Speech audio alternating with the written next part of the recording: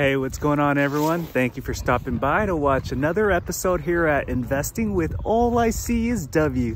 Well, today I wanted to make a stock video update on Inovio Pharmaceuticals, a biotech company that's working on 15 DNA related vaccines for a wide number of different diseases out there. But the main focus is Inovio Pharmaceuticals is trying to implement and scale up rapidly the INO 4800 vaccine that is in phase two clinical trials, not only in the United States, but also in other international countries as well.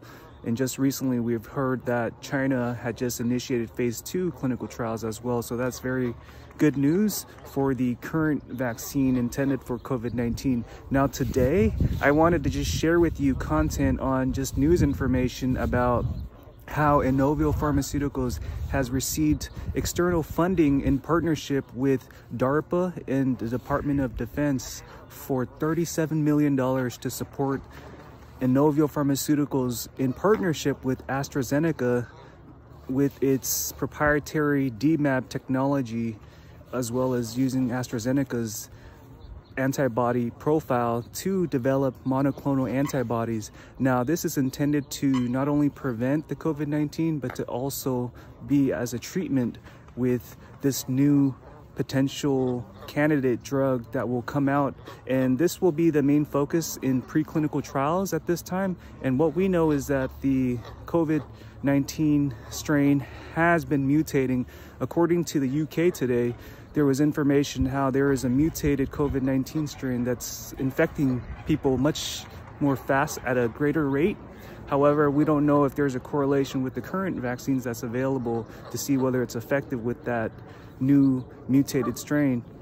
But what's so positive for Inovio Pharmaceuticals is that it's positioning itself not only with the INO 4800 where it has already scaled up its manufacturing plan where it's set up shops for contract manufacturers but it's also looking ahead into the future because it realizes that with its DMAb technology as well as in partnership with AstraZeneca's proprietary monoclonal antibody patents I feel like there's going to be a new disruptive technology in just this whole sequence of just vaccines using DNA-based technology. And this is solid news because Inovio Pharmaceuticals has 15 DNA immunotherapy vaccines that's currently in clinical trials.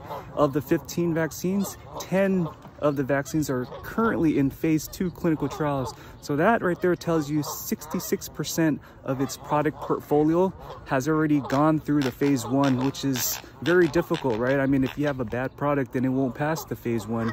The fact that it's in phase two and the fact that we're in a pandemic, there's just increased demand for speeding things up and that is why I feel the biotech sector is so great. And today we see an increase with the INO share price and I'm happy to see that and I forecast that come with the peer review release data of INO's results in phase one clinical trials demonstrating safety and efficacy, immunogenicity, I feel like the share price can definitely hover back up and get back up into the $20 territory. And I'm excited as a long investor because just hearing the news today, that just shows that the DOD DARPA as well as AstraZeneca in partnership with Inovio Pharmaceuticals. That's solid news for its preventive care, future disruptive technology that will be coming out and also establishing a robust monoclonal antibody program that will likely have to go through approval with the Food and Drug Administration, the CBER Center